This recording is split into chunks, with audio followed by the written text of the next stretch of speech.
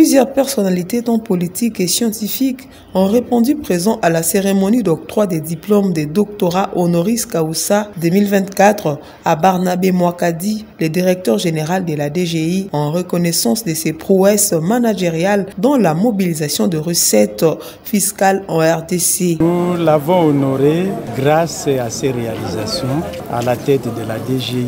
Il est vrai que la DGI avait commis des moments sombres à telle enseigne que le gouvernement avait du mal à pouvoir voter correctement son budget. Cette réalisation s'est poursuivie jusqu'en 2024 actuellement.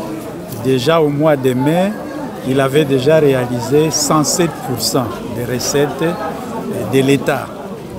Donc il y a cette efficacité dans la mobilisation des recettes qui constitue en soi la raison fondamentale pour que nous puissions l'honorer.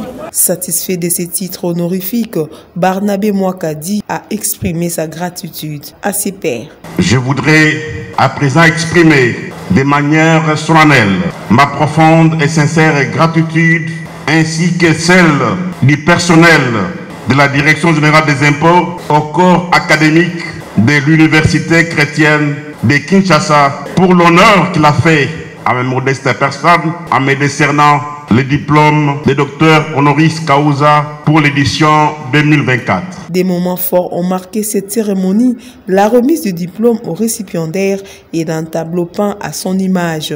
Merci, les amis de Barnabé Mwakadi. Pour couronner les tout, les groupes Mam Africa et l'artiste musicien Werason ont agrémenté la soirée organisée à l'occasion de sa nativité, soit une double cérémonie sanctionnée par une photo de famille et la remise des cadeaux.